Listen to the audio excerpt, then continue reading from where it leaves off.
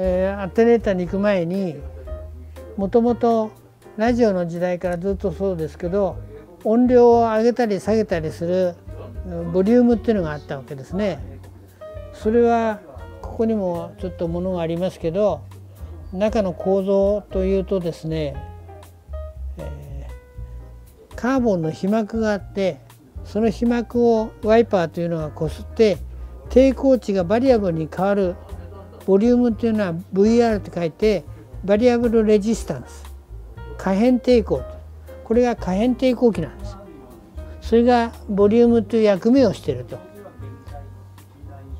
で可変抵抗もともとの可変抵抗っていうのは今は大半今のものもほとんどそうですけど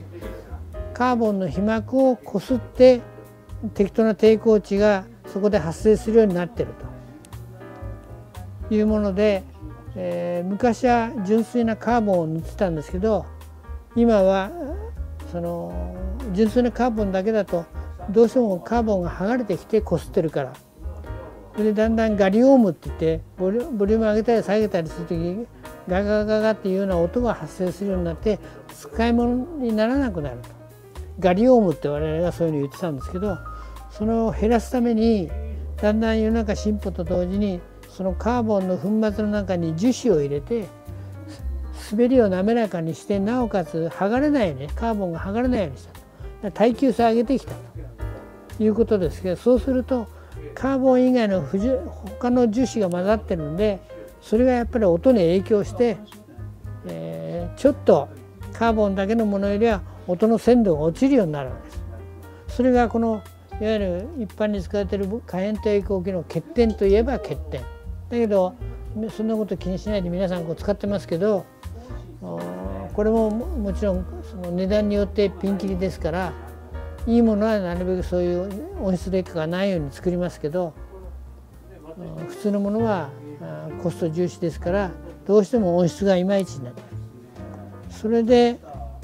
えー、それを解消するためにですね我々が作った AMRS っていうのは音質抵抗ですが音質的には申し分ないんです。だからその抵抗を切り替えてこのボリュームの代わりにするとこの抵抗をどんどん通るところを変えてきてこのボリュームと同じような可変抵抗にすると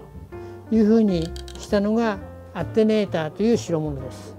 でこれ作るのが全部ハンダ付けもいっぱいしなきゃいけないし抵抗もこれ23接点の 46, 46個抵抗ついてますから、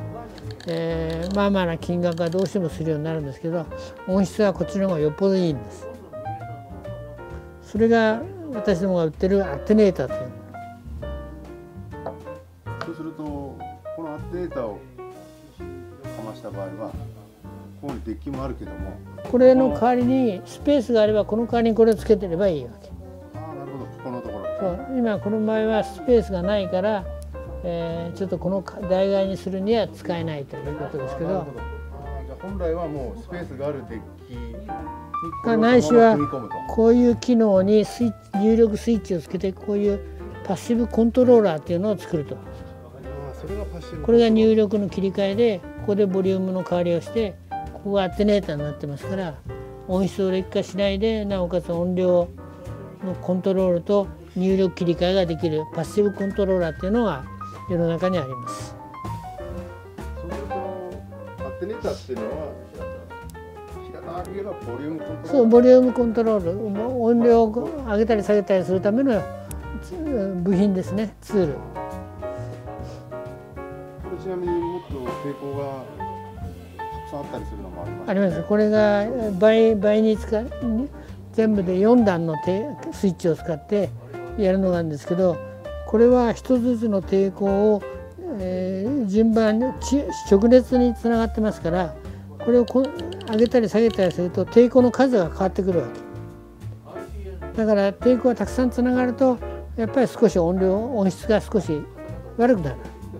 でそれをどんな大きさの音量の時でも2個しか抵抗を使わないっていう方式があるんですよね。そういうふうに作れるわけ。でそういう使うとこれの倍抵抗を入れるんですけど常に2個しか抵抗を通らなくてアテネーションしていくというアテネータもあります。それがエルパッドアテネーターと称するもの直列につなげるのがシリーズ型といって。そういうアテネーターには2通りもう一つ本来あるんですけど